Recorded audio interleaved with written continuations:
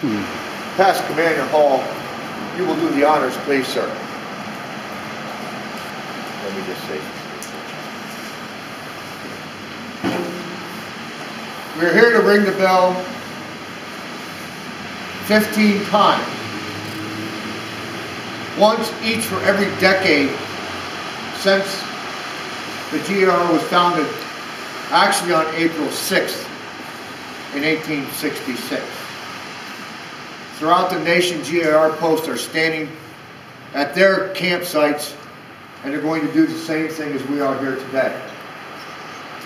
So at this time, I'd ask Commander Hall to ceremoniously ring the bell 15 times.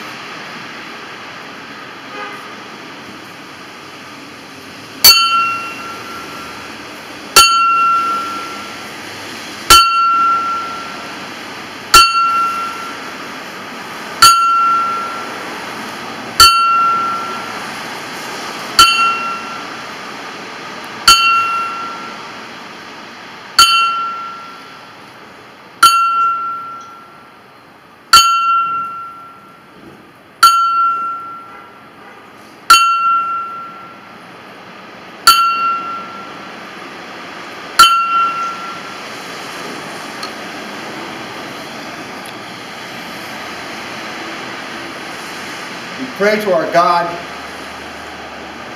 that the souls above us, members forever of the GAR, have heard our words here today.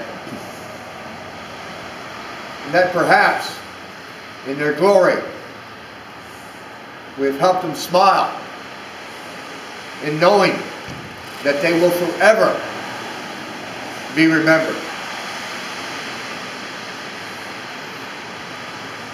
The camp is dismissed.